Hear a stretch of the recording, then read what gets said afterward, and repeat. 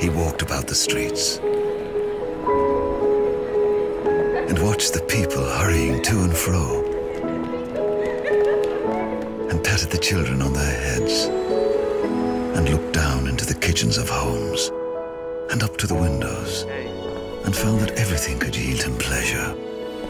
He had never dreamed that any walk, that anything, could give him so much happiness.